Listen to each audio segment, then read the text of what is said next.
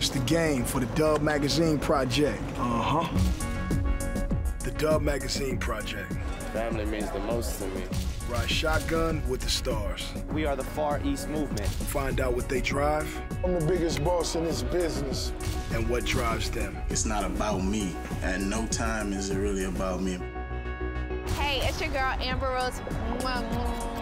Dub Magazine Project. Shout outs. Flock.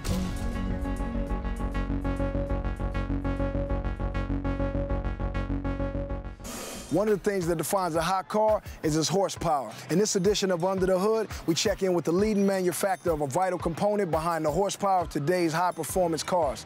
Check it out.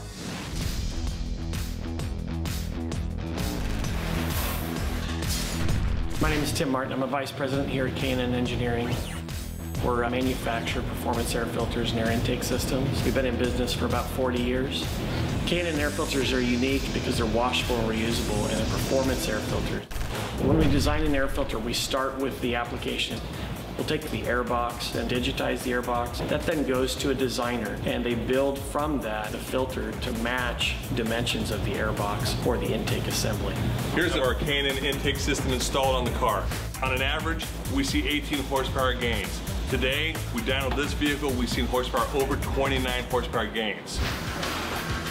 This K&N's taking what we learn in racing and motorsport and applying it to performance air filters and air intake systems that you can use on your own street vehicle. You've got real world racing technology there.